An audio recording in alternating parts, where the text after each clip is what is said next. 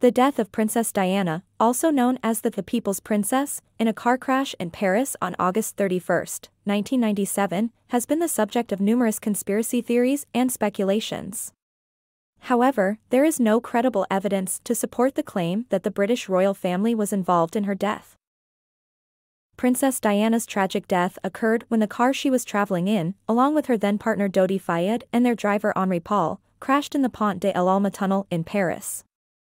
The official investigation conducted by French authorities determined that the accident was primarily caused by the reckless driving of their chauffeur, Henri Paul, who was intoxicated at the time of the crash.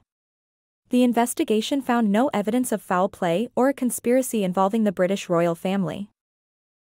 Conspiracy theories regarding Princess Diana's death have persisted for years, often suggesting that the royal family played a role in her demise to prevent her from marrying Dodi Fayed, a Muslim.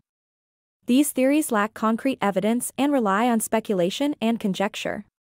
The official inquiry, led by Judge Hervé Stephan in France, concluded that the crash was a tragic accident and that there was no credible evidence to support a conspiracy.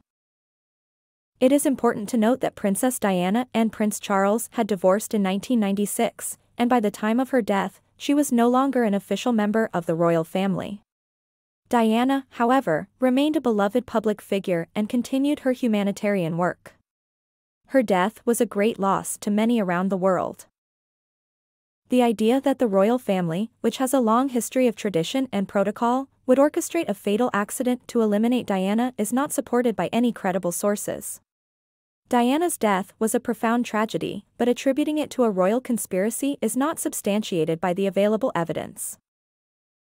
In conclusion, while various conspiracy theories have circulated for years, there is no credible evidence to suggest that the British royal family was involved in the death of Princess Diana.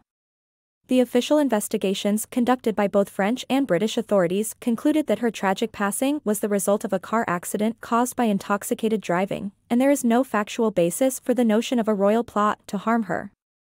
Diana's legacy lives on through her charitable work and her impact on the world, and her memory is cherished by many.